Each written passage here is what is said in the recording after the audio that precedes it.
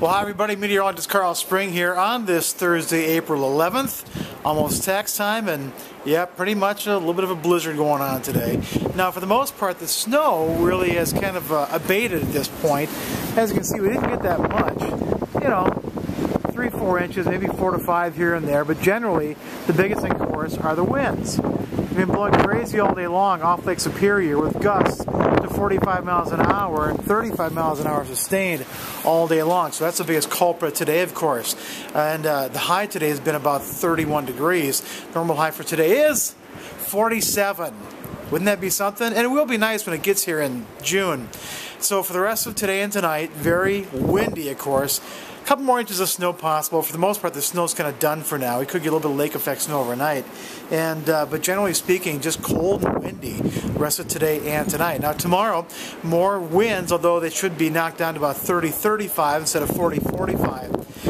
The high on Friday should be about 30, 31 degrees. Now Saturday actually won't be too bad. Probably sunny and about 37 degrees. But then Sunday, another system comes in from the northwest.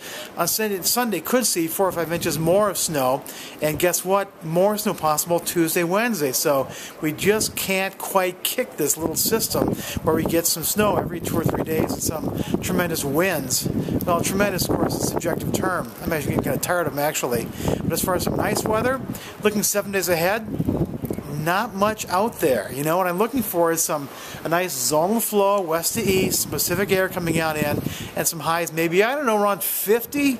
Normal high again is 47, so not quite there yet. The winter storm warnings have been canceled, uh, but generally, again, the, the biggest uh, culprit now are the strong winds, and of course, it's icy out there too, so be careful of that. Let's look at your forecast here late on this Thursday. More updates as uh, they are warranted. But uh, bundle up. Uh, spring is having a tough time getting a foothold here. And uh, boy, enjoy the winds. Aren't they something? Crazy out there. All right, have a good night. Bundle up. Over and out.